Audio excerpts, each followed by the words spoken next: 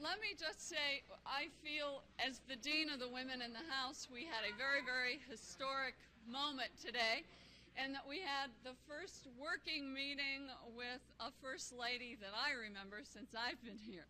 And I must say, it was a wonderful meeting in which the caucus talked about so many issues that we have been concerned about, and it was terrific to have two ears working um, that have access to the other end of the avenue. And we really, really feel that this is a beginning of all sorts of issues that I think will raise them to a much higher level in the legislative arena.